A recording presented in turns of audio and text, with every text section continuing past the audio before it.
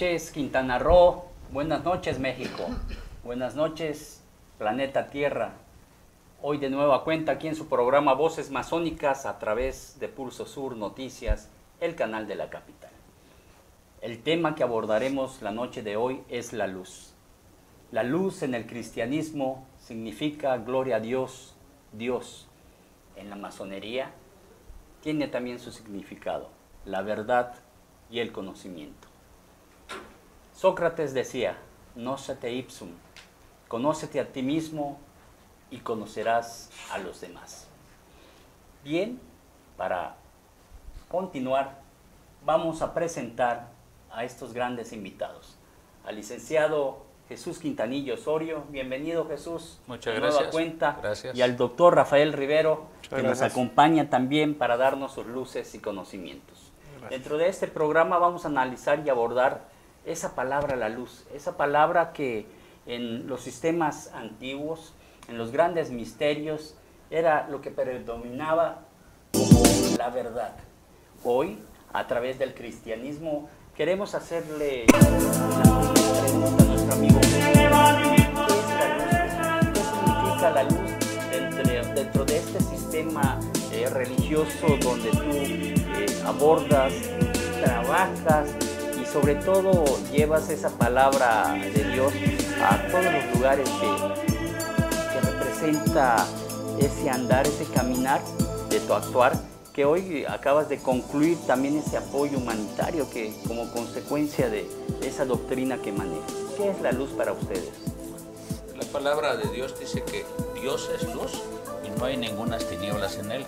Para, para empezar, representa esa luminiscencia profunda que ilumina al ser humano.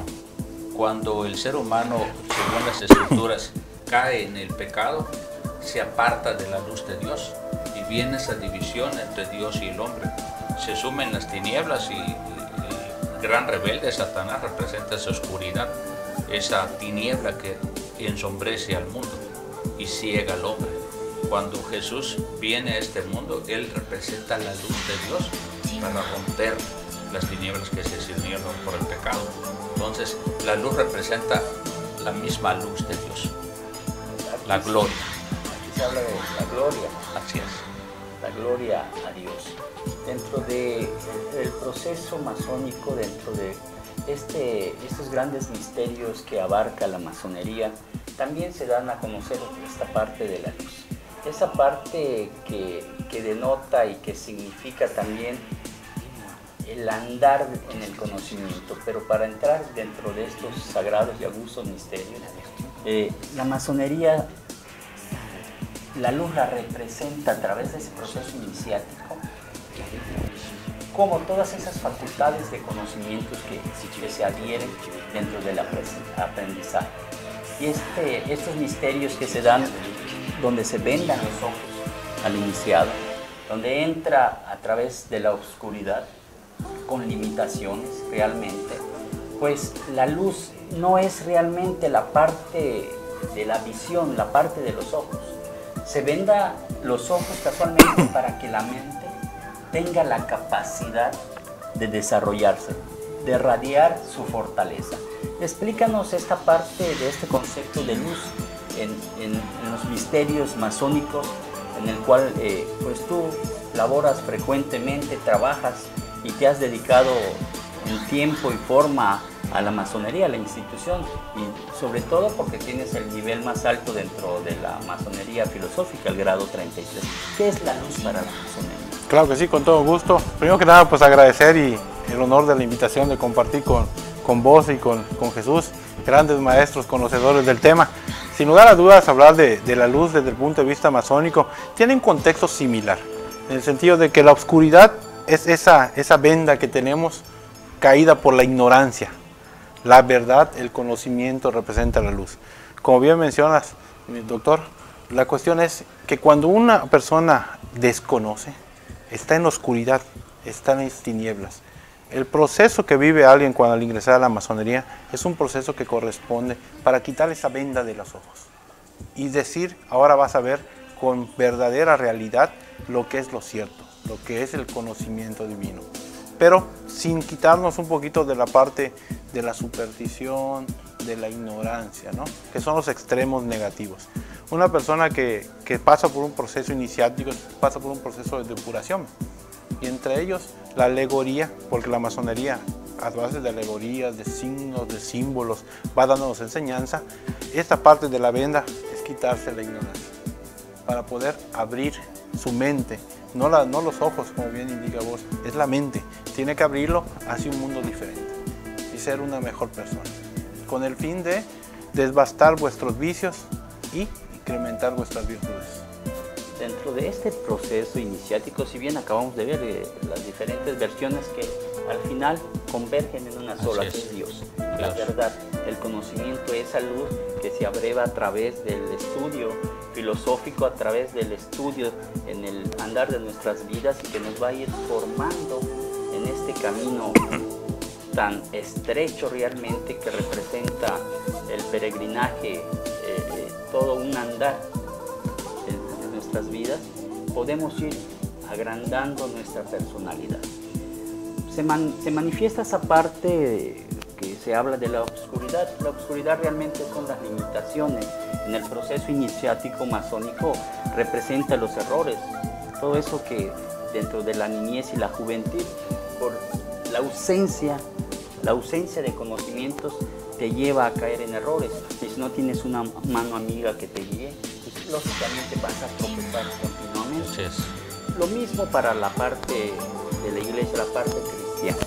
Si no hay alguien que un maestro que te guíe, no vas a poder tener esa enseñanza, ese aprendizaje. Pero al final, aun cuando te den esa enseñanza, si no tienes tú la capacidad o realmente quieres ser mejor cada día, pues aunque te estén enseñando no vas a poder ingresar a ello, a ello mismo. ¿no? a esa parte evolutiva, a esa parte de conocimiento, a esa parte a la que nos dirigimos hacia la verdad, hacia Dios. Y esto lo explicamos para que quienes nos ven tengan un conocimiento pleno de la masonería y la parte religiosa, el cristianismo, que al final convergen en una sola tendencia, que es la práctica de la moral, el estudio bíblico, de ahí nacen todas estas virtudes que llevan al hombre a un nivel de superioridad y a un nivel de conciencia más elevado para poder alcanzar la parte espiritual. Si bien podemos, este, eh, aquí algún contexto que se pueda hablar sobre la luz en que se está viviendo actualmente el, mundo, ¿qué, ¿qué sería necesario? ¿Es necesaria la luz ante las situaciones que estamos viendo? en el acontecer mundial, nacional, estatal, municipal, local. Es, todas estas situaciones que se están dando, ¿es necesaria la luz, de Jesús Quintanilla? Sí, porque parte del problema que tenemos desafortunadamente es que la misma ignorancia de la que hacías mención ha hecho que mucha gente se aleje de los verdaderos principios morales. Hemos caído en un problema de relativismo moral donde ya no quieren aceptar verdades absolutas. Y eso ha hecho que muchos caigan en el libertinaje. Pero esto ha dado lugar a que la misma sociedad vaya escindiendo a la familia. La familia se está desintegrando. Y si es la célula de la sociedad, obviamente los miembros que se van desintegrando y se pierden en las tinieblas, se van sumando a la oscuridad, en lugar de sumarse a la luz. Desde el punto de vista de ustedes de la masonería, de nosotros de la iglesia, estamos buscando que la sociedad rescate esos valores, porque la injusticia cae, el trato a los migrantes, la gente que está desprotegida, la gente que sufre, los que no reciben los apoyos que deberían de recibir. Todo eso es parte del, del ministerio social que Jesús nos enseñó, porque dice en Isaías 58 nos habla que el verdadero ayuno es ayudar al prójimo, que a los pobres errantes albergues en casa, que si ves al desnudo lo cubras, al que está en, la cárcel lo visites, al que está con hambre le des de comer. Ese es aplicar el principio social del Evangelio de Jesús. Para eso se necesita la luz, porque si tienes un corazón duro que no es de ayudar a los demás, entonces esa luz no está brillando en ti. La luz de Jesús tiene que brillar en el corazón del ser humano, pero eso tiene que ser a través de acciones. Las buenas obras representan la fe que tú tienes. Pero si tú no tienes una fe real, pues esto no va a manifestarse en nada. dice que de la abundancia el corazón habla la boca. Entonces esa luz se requiere para que la gente, lo, lo dijo Jesús, vosotros sois la luz del mundo. Una lámpara no se pone eh, en la oscuridad, se pone arriba para que todo el mundo la vea, como tenemos las del estudio, si no estaríamos en la oscuridad. Entonces, esa luz se va a manifestar a través de las obras que tú hagas. Necesitamos romper con la corrupción, con los malos manejos. Todo eso es producto de la oscuridad, todo eso es producto de las tinieblas. Y cada día se ha asumido más nuestra misma sociedad en eso, nuestros gobiernos. Ahorita acaba de ver la renuncia de un presidente, ¿no? ¿Cómo está sumido en la oscuridad Bolivia ahorita? Por eso mismo, los problemas sociales, lo que vemos en Hong Kong con los problemas también que se están dando en esta isla, que era el alter ego de la economía más fuerte, ¿no? Y ahorita están en un problema tremendo. Se han alejado de la luz, de los principios de la igualdad, de la justicia, de la bondad, del amor. Entonces, ¿qué, ha caído? Una sociedad desorganizada, llena de problemas, y en lugar de ayudar al prójimo, lo están hundiendo, lo están metiendo, lo están destruyendo. El llamado es que la luz nos haga a todos unirnos como hermanos y ayudarnos en medio de este problema tan grande que hay en este mundo. Tenemos que ser un solo corazón. El llamado de Jesús fue el llamado de la unidad, que todos nos sumemos para buscar el bien común. Ese es el mensaje que realmente trajo el Señor. Que todos tomados de la mano llevemos a este mundo a una escala de luz y de amor. Pero si esto no se presenta es porque la oscuridad anda reinando también. Hay que romper eso con buenas acciones, con buena justicia y que realmente apliquemos los principios que nos fueron base de todo. Pero ¿qué pasó ahorita? La sociedad se ha ido desintegrando porque la familia se está rompiendo. Y rompiéndose la familia ya no hay principios. Ya se vuelve relativo y no debe ser así. Y entonces eh, la manifestación es que sí es necesaria la luz para el contexto en que estamos viviendo en el mundo actual. Estamos viviendo situaciones de opresión por ese mismo oscurantismo, esa oscuridad que delimita y limita al, al hombre. Esa oscuridad son limitaciones realmente de conocimientos, de talento, de inteligencia que debe de poseer un, un ser humano para poder ser libre, para poder conducirse hacia la verdad, para poder tener eh, niveles de vida eh, dignos de un ser humano. Y aparte de esos desconocimientos, esas limitaciones que representa la, la oscuridad, pues nos llevan a problemas más serios, a la falta de libertades, esas libertades que están plasmadas en nuestra constitución, en los derechos humanos, y que por la ignorancia del individuo no podemos alcanzar esas libertades. Desde el punto de vista, doctor Rafa, eh, ¿es necesaria la luz en nuestro mundo actual ante la situación que estamos viviendo, esa problemática a nivel mundial, repito, nacional, estatal, municipal, en todos los ámbitos, en todos los rincones de nuestra geografía nacional y mundial? Sí, sí, creo que sí, coincido con lo que manifestaba Jesús. El problema es que con la ignorancia manipulas al pueblo. Un pueblo ignorante es manipulable por cualquier motivo. Y ya tenemos que dar el brinco a no solo conocer la problemática, porque todos leemos un medio, escuchamos una noticia, vemos algo, pero hay que saber reflexionar y sacar un juicio crítico de eso y ya elevamos nuestro nivel de conocimiento.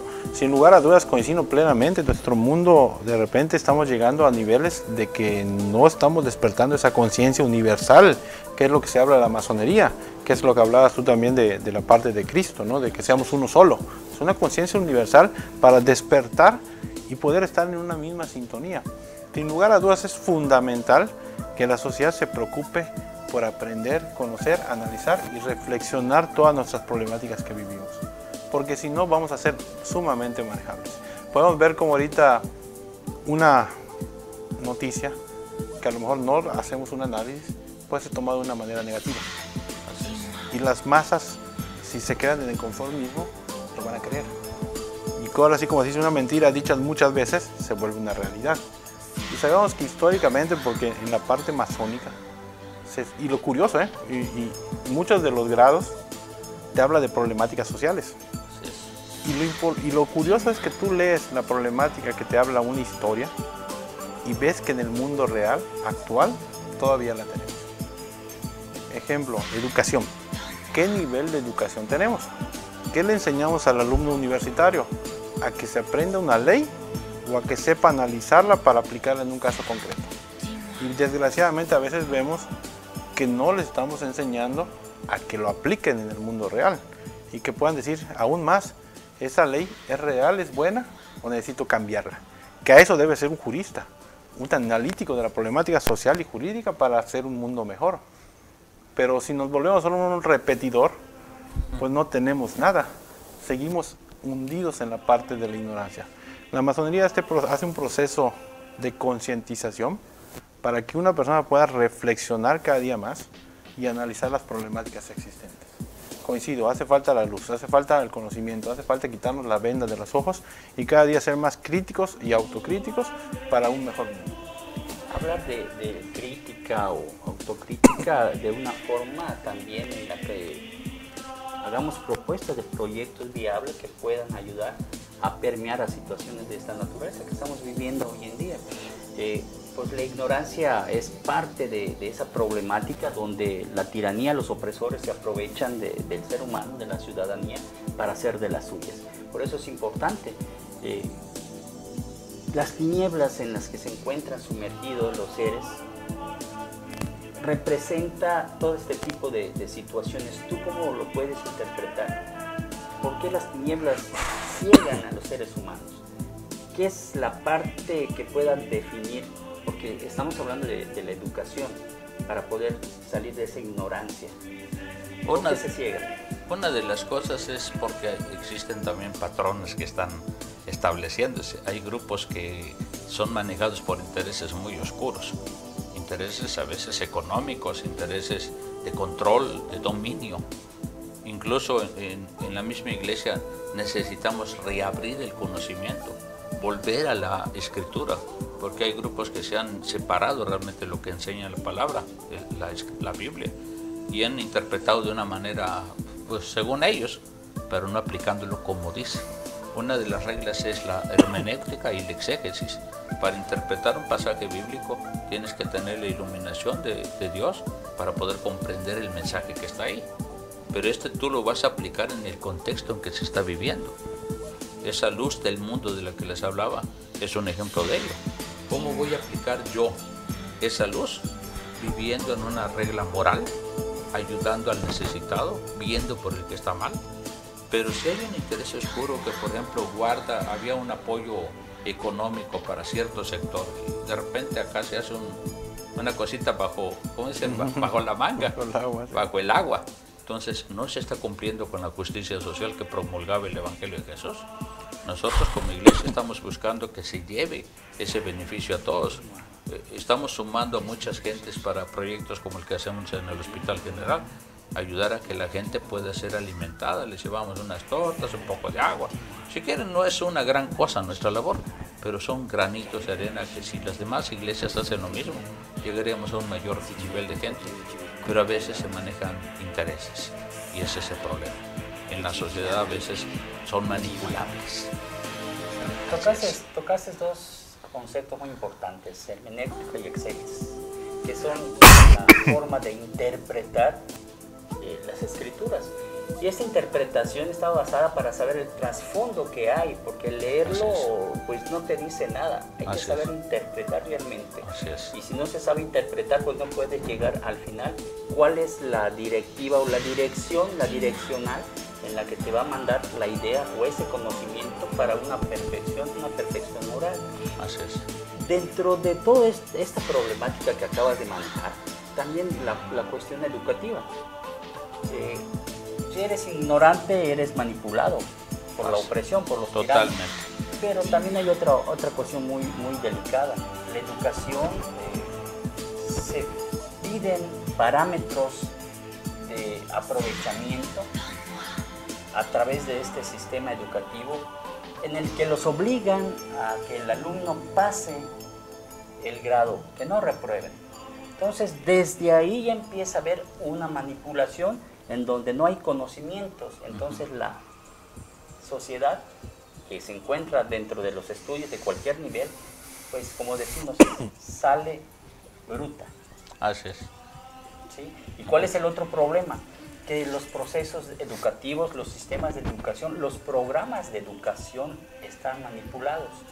No son programas, sino que, perdón, no es un sistema educativo realmente, son programas, son programaciones para dirigirte hacia el interés de quienes nos gobiernan, para dirigirte hacia el interés del poder político que emana a nivel mundial, porque al final eh, hemos tocado en otros programas la cuestión de la oligarquía, ¿no? de ese grupo selecto de personas que, manipulan a través de, del neoliberalismo. Y esto pues te conduce a esa parte oscura, esa parte de las tinieblas. Ellos mismos nos conducen a esa parte, la oscuridad, a las tinieblas. Y nosotros somos quienes debemos de enseñar y de predicar a través del estudio y la educación un conocimiento más elevado para que la gente pueda salir de su ignorancia. Así es. Esa es la particularidad tanto de la masonería como también de la parte cristiana que ustedes manejan estamos inmersos en un mismo fin, la verdad, el Dios. Así es. El gran arquitecto del universo. Eh, doctor, estas tinieblas que ciegan a, los seres, ¿cómo las defines también desde tu concepto masónico? Sí, es esa oscuridad, ese velo que no te permite ver allá y te da un límite como tal. Pero también para, para nuestras personas que nos hacen el favor de sintonizarnos, que quedar bien claro, ignorancia no es un insulto.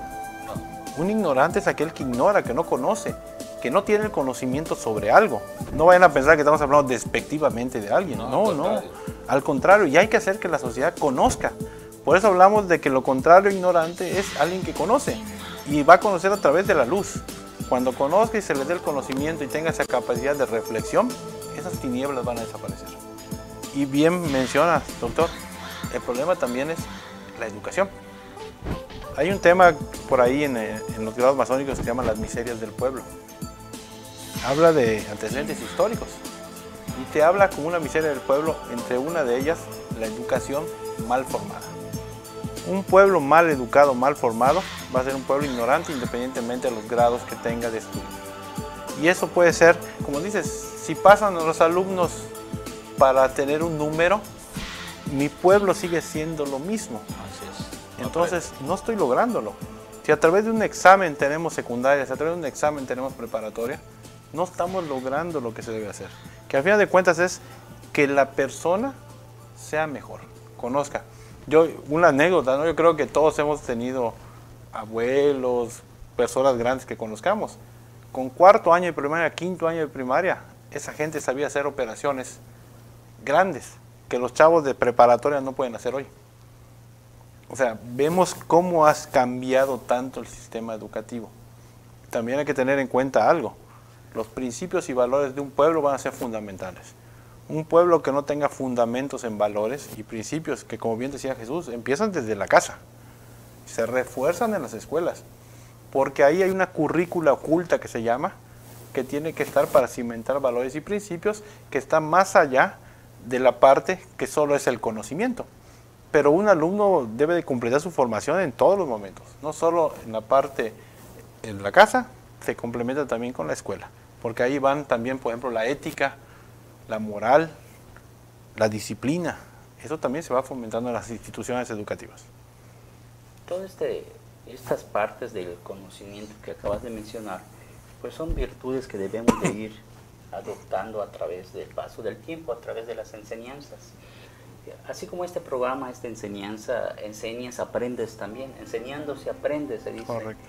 Eh, por allá hay, una institución, un claustro que, es parte de, su slogan, que enseñando se aprende. Y este aprendizaje nos va a liberar realmente de, situaciones que estamos viviendo, de situaciones que, que dan pena, que degradan al ser humano ambos, masonería y cristianismo, somos luchadores sociales por el bien común. Que el bien común se dé siempre cuando hayan proyectos o programas a la mayor población posible. Porque a veces no es posible darle dentro de los beneficios a todos porque las circunstancias y, las áreas geográficas en las cuales habitan eh, los, los individuos no se prestan para poder llegar o permanecer, permear esos programas. Pero al final, un 75% es aceptable. Siempre van a haber eh, ciudadanos que no, no puedan alcanzar a lo mejor eh, el aprovechamiento de estos programas, pero al final eso es lo óptimo. Vemos circunstancias penosas a nivel mundial, masacres, muerte, eh, secuestros, una infinidad de situaciones que nos habla de esa parte oscura, de esas limitaciones, de esos errores, de esos problemas, esas directrices que están a través guiadas por las tinieblas, de esa oscuridad que representan limitaciones, porque al final a través de la luz debemos de liberar esas limitaciones y esa luz representa esa parte educativa, esa parte de enseñanza, esa parte de ayudar al prójimo, esa parte como mencionaste eh, Jesús, el amor al prójimo, que son eh, normas de conducta como es la justicia, el honor, la honradez, la benevolencia y la caridad por la parte cristiana para ver y mejorar y tener un mundo con todos los beneficios y adaptaciones que requiere un ser humano, un mundo mejor. ¿Qué podemos eh, tan rápido porque el tiempo se nos va? La luz nos libera. Precisamente eh, la escritura del libro de Juan nos habla de que esa luz vino al mundo en la persona de Jesús. Yo tengo un libro que publiqué en la red, está gratis, que se llama La educación como modelo liberador, donde manejo los conceptos de la libertad del hombre. Eh, acuérdense de lo que decía Freire, que la práctica de la libertad por la educación. Entonces, la educación va desde todos los contextos. Jesús decía, la verdad os hará libres. Y esa verdad es la que va a abrir el conocimiento del ser humano, va a abrir la mente de ese ser humano. Porque vive esclavizado muchas veces con prejuicios. Eh, ahorita estoy leyendo sobre supremacía blanca, cuando matan a este grupo de, los mormones allá de la familia Levarón habían grupos de supremacía blanca que estaban detrás de todas estas cosas. Y eso es terrible, que aún en nuestro siglo XXI sigan habiendo cosas tan ridículas como el racismo. Eso nos habla de una oscuridad que está penetrando en la mente de la gente. Al contrario, deberíamos, en esta época tan tecnificada, deberíamos tener más conocimiento. Y dice la, la Biblia misma, dice, mi pueblo se perdió por falta de conocimiento. Entonces el mismo Dios nos está diciendo que el conocimiento es lo que hace libre al ser humano mientras más conozca, más se ilumina. Doctor. Correctísimo, yo creo que coincido mucho con esta parte de Jesús y la que ha mencionado, doctor, porque sin lugar a dudas, un pueblo bien educado, cimentado en principios, valores y la parte del conocimiento, va a ser un pueblo que va a lograr lo que quiera. Si no seguimos un plano cultural para mejorar esta situación, no va a pasar. Yo recuerdo que en la educación, eh, en mi formación profesional, hay un libro muy bueno que se llama Fábrica de Delincuentes que te menciona como un individuo, cualquiera como tenemos en una República Mexicana, por muchas circunstancias se puede volver un delincuente. Y la cuestión es, ¿qué podemos hacer para que esta persona tenga igualdad de oportunidades con otra? Y pueda asistir a la escuela, pueda tener acceso a un trabajo, pueda ser un hombre libre, un, un hombre con toda la propiedad para poderse desarrollar. Es muy complicado y como dicen las liturgias, es una lucha incesante entre las tinieblas y la luz. Bien, para, para despedirnos de este programa, lo importante es realmente liberar las limitaciones. Que las limitaciones, esa oscuridad, no nos engloben, no nos encierren el ser personas problemáticas, personas sin conocimientos y capacidades para desenvolverse. La luz, más luz, la gran luz, que la luz sea. Liberemos nuestras limitaciones para ser mejor cada día. Nos vemos en el siguiente programa. Muchas gracias.